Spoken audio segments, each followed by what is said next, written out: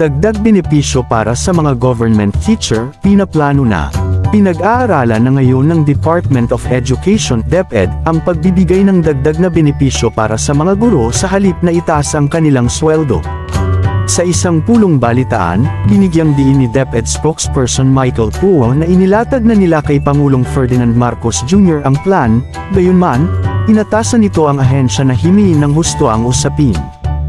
We will be looking into nun basic wage benefits that we can give them para naman madagdagan yung take-home nila, sabi ni Puwa. If we increase the basic wage of the teachers, if we make it too high, it will really affect the private sector kasi either lilipat yung teachers in the private sector to the government, or baka hindi kayanin ng private sector tapatan, baka magsara yung private sector, anito. Pagdidiin nito, taon-taon aniyang tumataas ang sweldo ng mga guro simula 2019 alinsunod na rin sa Salary Standardization Act na ang final tranche nito ay ipatutupad sa 2023.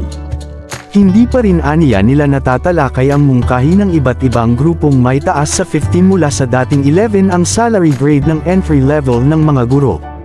Binanggit nito ang nakaraang executive order na lumilikha ng bagong teaching positions para na rin sa professional growth at career advancements ng mga ito.